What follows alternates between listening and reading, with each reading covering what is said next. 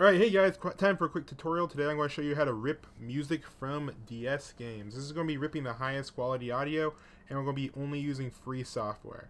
So uh, we're going to need two programs. One is SynthFont, there's a free version, luckily, uh, right here, SynthFont 1. Uh, just go ahead and click full package, and when you install it and run it, will give you something like this as a kind of registration, but you can just click I will continue using the evaluation, and you'll be just fine. Here's a program, here's a song I was working with before. Um, anyway, the other program we need to actually open the ROMs is VGM Trans. So go ahead and open this up. I'll have a download link to this in the description too. So download both and extract them or, install them or whatever. And once you have it loaded up, it takes a little while. Here you go. Now all we have to do is load up our ROM file. Uh, see if we can drag and drop. Yep. Just drag and drop your NDS file.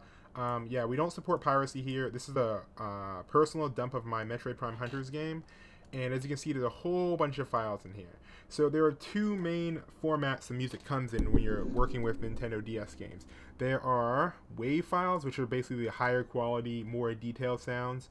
And then there's chiptune files, which are these SEQ things. So um, let's just go ahead and test one real quick. One of these. Okay, WAV intro. Uh, you can usually preview them by clicking that, but let's just go ahead and open this up. When you click on it, uh, any of the green ones, you can say save as wave, and you can put it wherever you want. If you want, you can just double click in your address bar, and that will give you the path. Copy, and then paste it in here. Paste. Okay. And here we go. Here are all the samples from that um, wave intro. Let's go ahead and listen.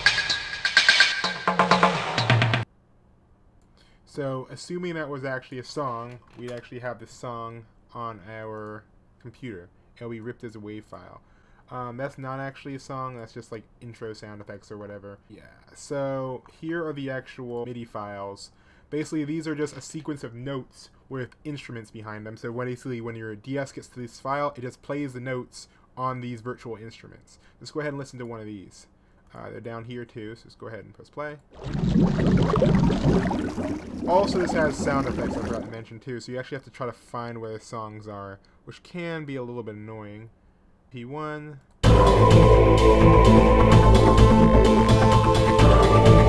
So that is definitely a song. So you're going to have to go through and press play on a few of them to see if you can actually find the songs. Try another one.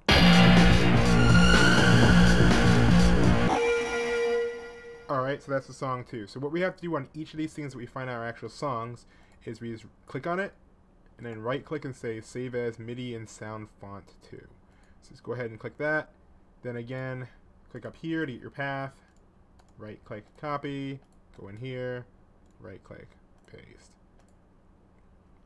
And here we go. So now these files are not in WAV format, and this is what most your songs are going to be in.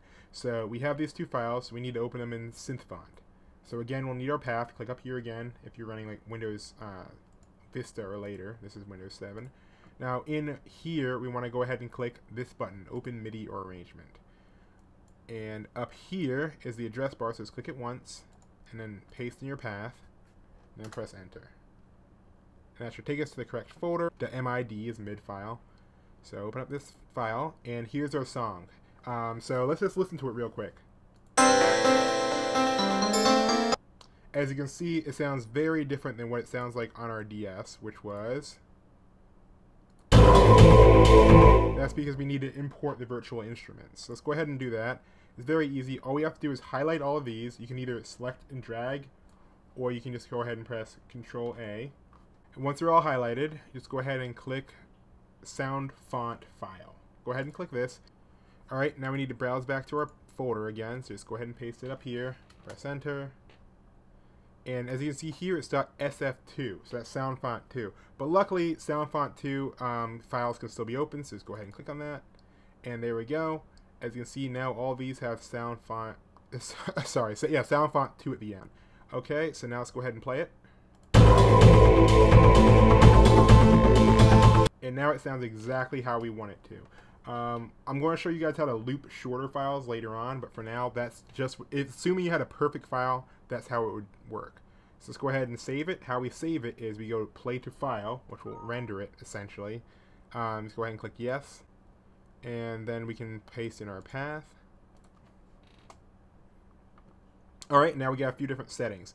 Uh, we have WAV format, OGG, APE, MP3, FLAC, WMA, and we have a bunch of different options. I say just stick with WAV or MP3 if you don't know what any of those settings are, but let's just go ahead and save it.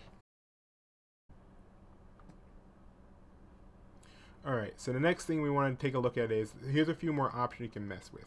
Um, as you can see, the volume's at 100%. If you just feel like this is too quiet, because this is max volume. If you feel that's too quiet, you can boost the volume a little bit and it shouldn't mess up the audio too much. So basically what it's doing is it's boosting all the instruments. It's not like adding a bunch of gain and noise to your audio. So let's just try again. Alright, and as you can see, it's uh, pretty decently loud. This is what I use. A 150 is what I like. Also, there's another option, is synth options. Click here, uh, and here's where you can change your sample rate. Basically, if you want to have even higher fidelity sound, which it's probably not actually needed, uh, you can click 960. That will be more than twice the frequency. But again, not much of a difference. Let's listen again.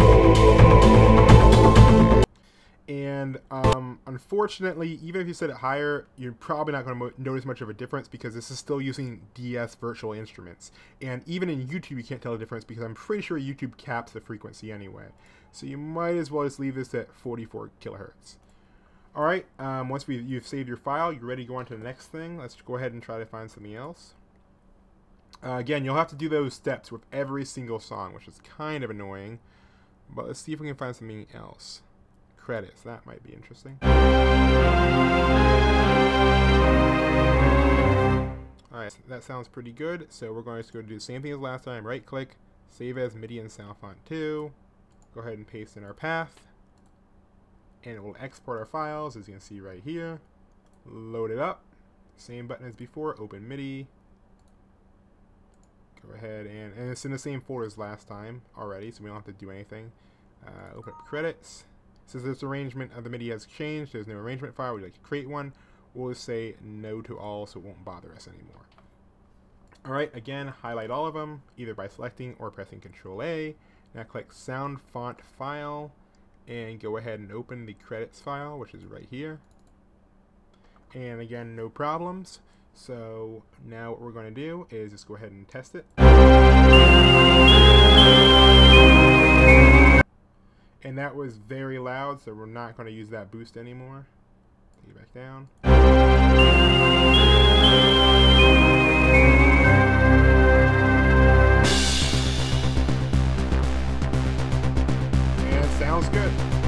Okay, sounds good. So now we're ready to export that. Save file as. Yes. And let's go ahead and save it, and it's saving. Alright, now we're going to do one more um, wave file just to show you that it doesn't, that it works a little bit better. Again, these waves don't always have songs in them, but it's good to just check. So go ahead and click here. You can find all, you can sample all the samples over here. So click on sample and then click play.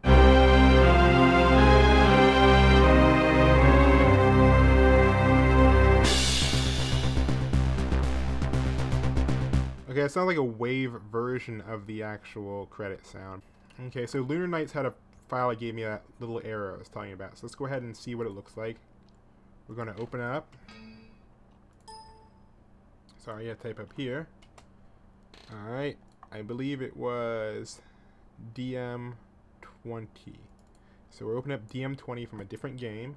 Loads up just fine. Again, if you press play, sounds really weird but that's fine. We just got to import our sound font file, right? So when we open up the sound font file, sound font file for DM20, which is right here, it gives us this message. Said you have more than one MIDI program change. You can assign different uh, font, font changes each. Bleh. It gives us this message. Just go ahead and click the whole track. And in this way, it will make sure that everything is set up right. So that's the last thing you need to know. Now we can go ahead and play it.